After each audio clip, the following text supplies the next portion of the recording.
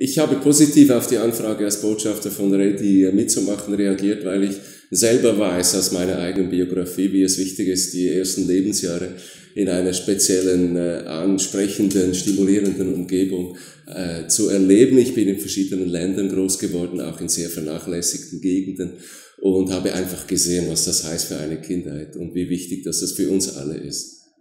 So im privaten Umfeld, auch beruflich, wäre ich umzingelt von Leuten, die in pädagogischen oder sozialen oder künstlerischen Berufen unterwegs sind. Und da ist die Vereinbarkeit recht gut. Ähm, also die Leute haben unter anderem deswegen diese Berufe gewählt, weil sie familienkompatibler sind als andere, zum Beispiel in der Wirtschaft.